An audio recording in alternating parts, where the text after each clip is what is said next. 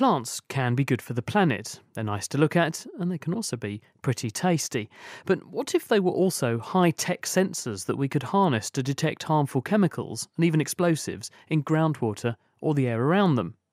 Michael Strano and his group from MIT in America have produced just such a bionic plant by engineering spinach to produce more or less infrared light in the presence of certain chemicals. Connie Orbach heard how. So, in this paper, we've transformed a living plant into a chemical sensor that can detect chemicals in the groundwater or on the surface of the leaf and send that information as an infrared signal to your cell phone.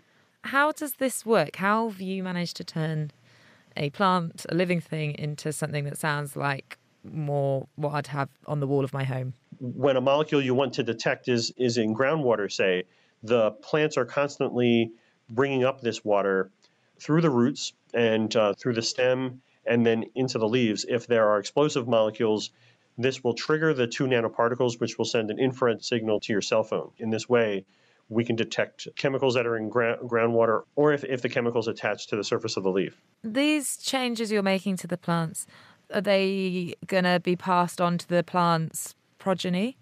They are permanent for the lifetime of the plant. They are not passed on to the plant's progeny, so they die with the plant. What more could be done with this in the future? What other sorts of sensors could you see this being used for?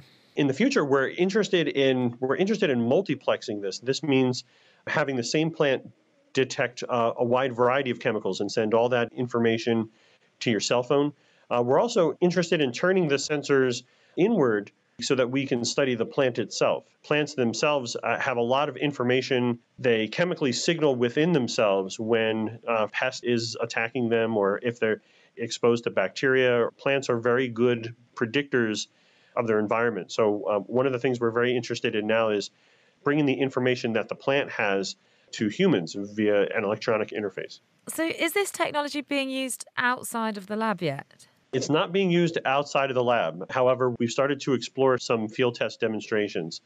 But the larger vision is to think about can we replace devices and electronic uh, sensors that we have around our home, carbon monoxide sensors, things that we make out of plastic, can we find living plants that could do the same function? Generally, we call this plant nanobionics, the, the use of nanomaterials to give the plant new functions. Now, that really is a superfood, isn't it? That was MIT's Michael Strano, and his work was published in Nature Materials.